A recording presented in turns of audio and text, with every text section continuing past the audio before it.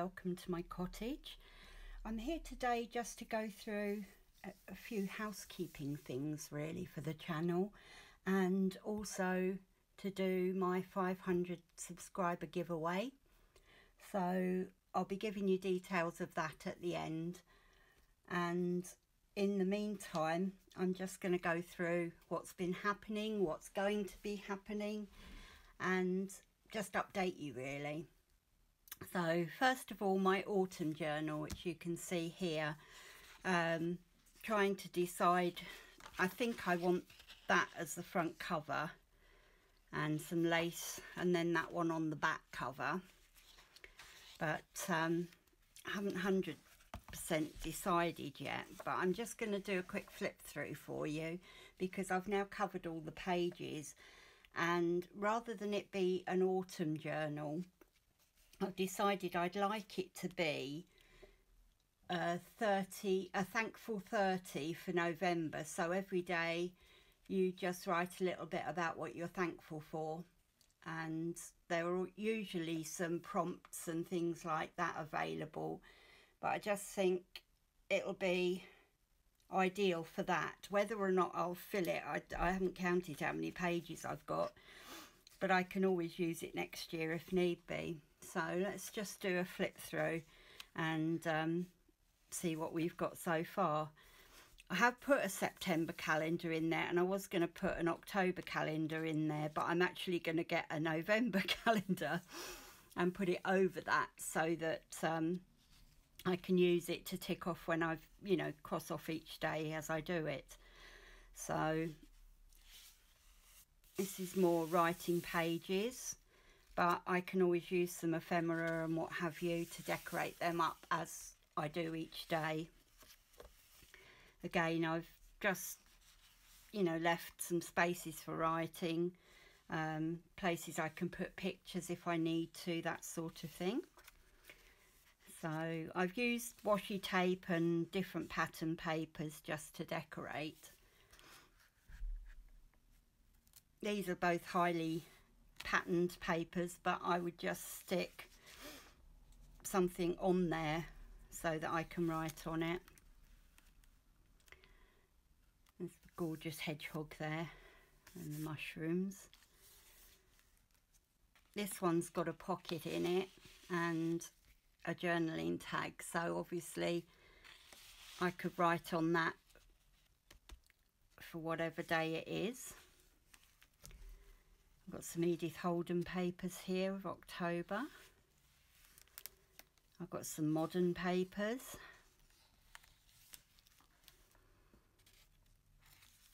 Some writing paper there. More modern papers with vintage adverts and pages so complete difference beautiful fall scene the hedgehog's back again to say hello and the conkers reminds me of my childhood playing conkers in the school playground that was long before it it was um, health and safety and nobody was allowed to play them. People used to get them in, hit in the eye all the time when I was little. Nobody said anything. Uh, there's another pocket there. That's bringing in some different colours as well, but I love the colour, the navy and the mustard colours together. Some more toadstools and beautiful leaf changing. Lovely bird. The flowers are autumn colours. More writing space here and more pattern paper. Some different pattern paper. Lovely dog. I'm just dying to put a speech bubble out and make a comment or something from him some more patterned papers there's some coffee dye paper and although this isn't traditional autumn colours it just says autumn to me. I don't know why. Maybe it's the red in it, but I just think it's so pretty and I don't see why it can't be an autumn colour. It's more autumn papers and some more Daphne's Diary. Some more papers. I just went through and put down whatever I fancied doing. This one, the um, little drawings were already on the page, so I tried to sort of add things to them, um, and I will use those as part of whatever I'm doing that day, I think. So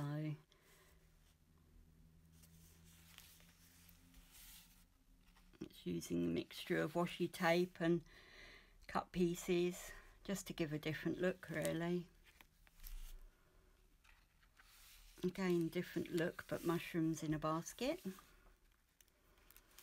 and sunflowers, apples and rose hips and some vintage paper. It's quite a strong colour but um, you do see those sort of colours on certain trees so I think it, it deserves its place here all the different um, pumpkins and gourds and what have you. Again, plenty of room to write. There's a pocket there that I need to put some things in. There's some mushrooms and some just plain paper. And at the back, the sunflowers. And that's the end of the book. So I will be working on that in November and obviously I'll give you a catch up. Right, so now for some housekeeping. I'm currently in quarantine for 14 days leading up to my operation on my left hand carpal tunnel um, on Monday the 19th. Uh, this Friday I'm going to get a COVID test which would be my first time getting a COVID test. I haven't got COVID, I'm 99.9% sure because I've been on my own since a week ago Monday. So there's no way, as far as I'm concerned, I can catch it. They say you can't catch it off of post, and that's the only thing that, you know, could be possibility. So, uh, as I say, I'm isolating. I've been looking at things that I'll be able to do one-handed because I can't use my hand at all for the first two weeks. And then four weeks after that I can't do things like drive or lift anything heavy. And I can start to move it by then which means you know I could hold down a page but I can't do any sort of I won't have the dexterity in my hands to be able oh my left hand anyway to be able to do things. So I've been binge watching videos about glue booking. And I've, I, obviously I've heard of glue booking but I've never tried it. So I thought I would get some magazines start cutting them up now so that I've got plenty of things that I can do because I figure I can glue one-handed and I can put a picture down one-handed and I can smooth it out one-handed. So that's what I've been doing. Totally obsessed with magazine harvesting videos and glue books. So I've prepared myself some glue books to use. So first of all, this one is a traveller's notebook. And so I'm going to use this one and I want to use this one for fashion. Um, so yeah, that's going to be a fashion glue book. Then in here I've got an art journal which has got a page that I started but I haven't done any more in so I figured that'll be quite good to put things in and then maybe use paints and markers and what have you as well and I've also got a black one which I don't think I'm going to use but I may do. And I've got one with pattern backgrounds. Again could be useful. And so I'm going to keep that with me. I've got this little book which is from Stampin' Up and it was gifted to me. And it's got uh, perforated pages so you can tear them out but it, some of them say grateful for small things and I thought they'd be ideal to take out and glue into my gratitude um, thankful book. So yeah and, and other, other pages are just it, this one says today I'm grateful for. So but there's you know they're patterned and everything so I might find a use for that one. Then I've got my sketchbook which I think would be ideal because I can take pages out as it starts to get a bit fatter. And it's a nice area to work on with smaller images. Then I have my big this is an A4 sketchbook. And I think this will be ideal for doing bigger collage and glue booking in with the bigger pictures from like the magazines and everything. So that's that one. So that's one, two, three, four, five, six, seven. And then I've also got my little tiny traveller's notebook. And it's got three books in it. One I've started using for art journaling. That was last year. I'll move it up a little bit so you can see. And I literally haven't worked in it since last year. That's just a background, some more backgrounds, etc. But I've got two books that I haven't started. And I thought it would be so much fun to try and do little a little mini glue book and see what I can actually fit on a page so I can look for really tiny fussy cut items and that will be in there. So anyway let's have a look. What have we got left to do? Yeah so as far as videos are concerned I don't know yet whether hold on a minute postman. Sorry about that. Got some bits through the the post some happy mail so that's really good and it was my favourite postman as well. My God, that guy has got the most amazing legs. And yes, he is wearing shorts in autumn with a great big coat, but wow. Anyway, that's a different matter. So as, as far as videos coming up, I'm really only going to be able to do colouring or glue booking. I can't really do much else one-handed and I don't know how I'm going to feel next week. Last time I felt fine for a couple of days and then the pain started. so I was on quite strong painkillers and sleeping a lot. So we'll just have to see. Um, I'm hoping at the end of the month to do an October haul so that that should be able to be done one-handed. So it's just going to be if and when, I'm afraid, for a few weeks until, you know, I feel comfortable making videos again. So that brings me on to the final part of today's video and that is my giveaway. I've got two prizes to give away. You can choose one or the other. It's open worldwide to anybody and I hope you'll like the choices I've made. So first of all, we've got this book, which is called Junk Style by Melanie Molesworth.